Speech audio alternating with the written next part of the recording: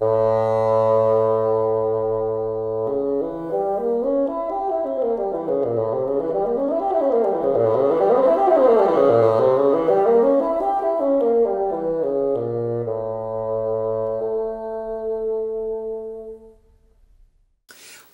this is Terry Ewell. This study is so lengthy that I will keep the tutorial and reflection in this video quite short. In variation 2, the two trills are fingered like this. I suggest that you make the accents in this study by means of lengthening the notes rather than giving more air on the notes. Please see my more detailed discussion of agogic accents in Weissenborn study number 23, BDP number 131. In variation 2, the B-flat 3 to C4 trill is played like this. Variation 4 is in G-flat minor. When I perform a minor key variation placed in the middle of a major key composition, I change the tempo of performance and the timbre of my sound. I suggest you perform this variation slightly slower. Return to the faster tempo at the coda. Also dampen the reed to gain a darkened sound as well. Moving your embouchure from 2A to 2B or 2B to 2C will help achieve this result. I discussed changes in embouchure in the reflection portion of Weissenborn study number 34 in this series. God willing, I will further discuss changes in embouchure in Weissenborn study number 50. This study is a theme and variation. Have you thought about how the concept of theme and variation applies to your life? What is the core of your life? What are the things you absolutely won't alter? What is it that defines your character? What is the theme to your life? What are the things that you will vary? What are the things you can do to enhance those life values?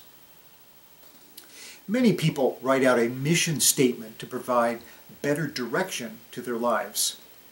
What would your mission statement be? Let me leave you with another analogy. Heinrich Schenker studied the music of Beethoven and other German composers from the Common Practice period. His theory included the idea that great composers made use of limited number of background lines and then composed out, elaborated, or created the composition we hear. Your life theme or mission statement is thus the foundation upon which you build the details of your life.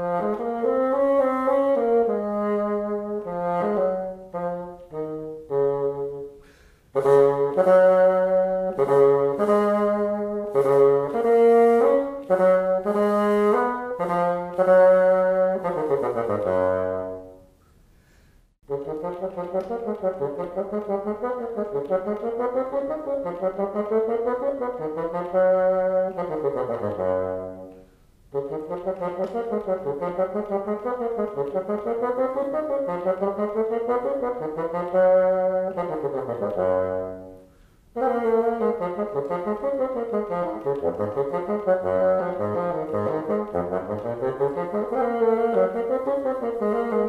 you.